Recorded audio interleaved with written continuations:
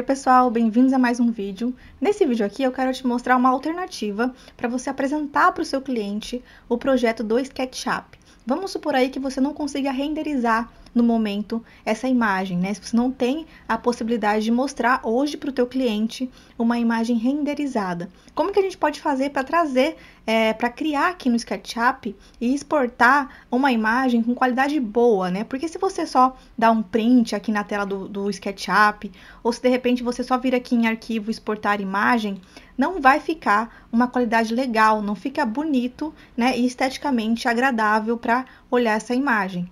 Então, nesse vídeo aqui, vou te mostrar uma alternativa aí para apresentar os seus projetos quando você não tem a opção de renderizar no momento. Então, esse projeto aqui, eu até já quero fazer um convite para você que está aí assistindo. A gente vai ter um evento gratuito de layout e SketchUp, se chama Semana do Layout, onde a gente tem três aulas te ensinando algumas imagens para você já ter resultado nessa semana, nesses três dias, tá? É gratuito, você pode se inscrever aqui embaixo. E se você está vendo esse vídeo aí depois, né, se as inscrições já foram, se as aulas já foram, ainda assim vale a pena você seguir o nosso Instagram aqui embaixo também, porque a gente está sempre é, criando esses eventos gratuitos né? No Instagram também tem bastante coisa para vocês aprenderem.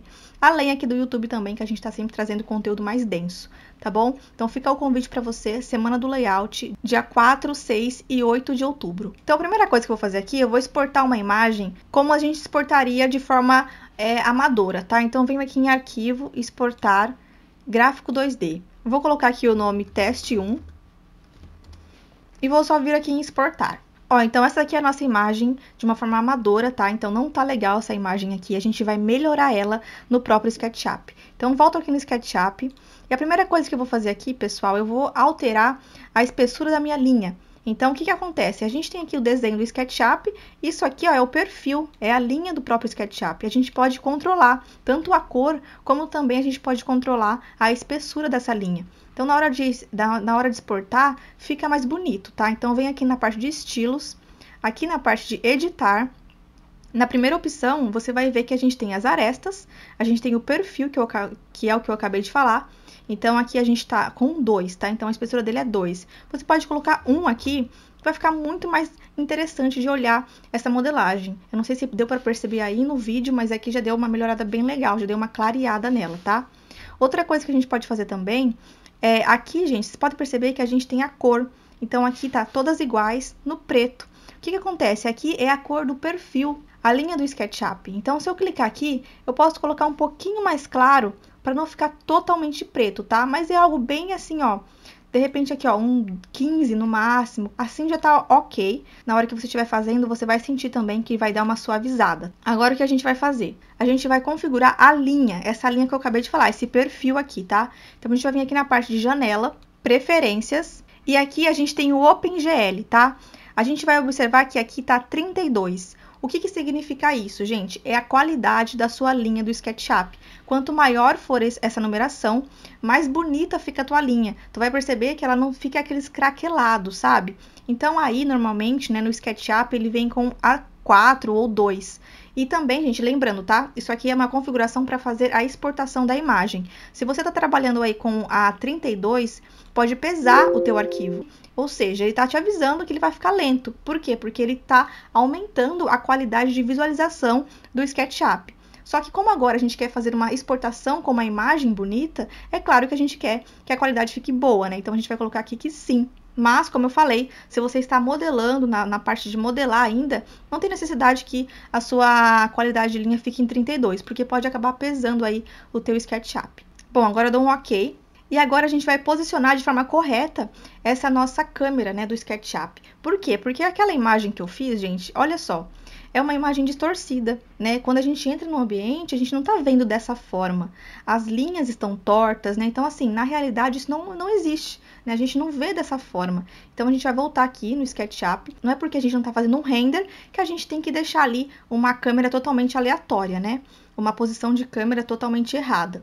É, primeira coisa aqui, pessoal, vou deixar o mouse um pouquinho para trás, ó, para ter um espaço maior aqui de imagem. E aqui você pode perceber que ela tá caída, né? Esses ripados estão caídos, então eu preciso deixar essa minha linha reta. O que que eu faço? Ó, consigo, é, percebam aqui desse lado, tá? Eu vou vir aqui na parte de câmera e vou colocar a perspectiva de dois pontos. Ó, olha só, percebam aqui que tá meio caído, né? Não tá muito legal. Vou colocar aqui perspectiva de dois pontos. Olha o que aconteceu. Ele já deixou reto as minhas linhas. E isso no olhar, né, já deixa realmente mais harmônico. Vamos colocar aqui a mãozinha agora só um pouco mais para cima. Você pode mexer na mãozinha. A única coisa que você não pode agora é mexer no scroll do mouse. Bom, feito isso, a gente já posicionou nossa câmera, o tamanho, né, a altura dela tá, no, tá num tamanho assim normal, e também a gente colocou as linhas retas, mexemos também na configuração da linha, na espessura dela, no perfil e também um pouco na cor. A gente tirou o preto que, que ela tava e colocamos um pouquinho no cinza. Agora a gente vai então exportar essa imagem. Só que ainda assim na parte de exportação a gente tem algumas configurações a fazer. Vou mostrar para vocês agora. Arquivo, exportar, gráfico 2D. Aqui tô na minha área de trabalho, tá? Eu vou colocar um outro nome nela aqui. Agora teste 2, que a outra eu fiz com teste 1. E ao invés de eu só vir aqui em exportar, eu venho em opções. E na parte de opções, vocês vão perceber que a gente tem aqui algumas configurações para fazer. A primeira coisa que ele fala é a seguinte, a largura da sua, da sua imagem. Gente, o que, que vai acontecer? Coloquem aqui 3000, tá? De largura. E aí, dependendo de como está as ferramentas aqui em cima, ó, tá vendo meu mouse? Essa parte aqui em cima, dependendo de como tá no seu SketchUp, vai mudar a altura aqui, tá? Por quê? O que, que, o que é essa altura aqui? É a altura daqui até aqui, tá? Então, às vezes, para você não esteja aparecendo como tá no meu, porque depende de como que você arruma e quantas ferramentas você tem aqui em cima, tá? O importante é que você deixa aqui, ó, no 3000 de largura, né? Deixa desativada essa opção, então, largura 3000, e aqui no multiplicador de escala de linha, você vai diminuir essa linha para ela ficar mais sutil. Então, você pode colocar 0,25 e aqui você vai manter a suavização de serrilhado, tá? Coloca aqui ó, a melhor qualidade, agora sim você vai dar um ok. E aí, exportar a imagem. Bom, então tá aqui o resultado da nossa imagem. Vocês podem perceber, eu vou colocar a outra, tá? Para vocês analisarem aí a diferença. Mas a gente percebe que realmente é um desenho, porque as linhas estão muito grossas, né? Não tá suavizado. Já essa daqui a gente consegue perceber, ó, que tá mais suavizado, né? Que a gente consegue é, também ver a questão da câmera, que é muito importante. Olha só, essa visão e agora olha essa visão. Então a gente consegue ter uma realidade maior. A gente percebe aqui também que as linhas estão caídas, né? Que não, não é interessante dessa forma. Já aqui a gente consegue ter uma visualização melhor. Olha como fica, né? Uma forma mais harmoniosa rosa fica realmente mais bonito do que essa daqui. Bom, então eu vou dar mais uma dica para vocês, tá? Algo também para acrescentar aqui o ensinamento de hoje.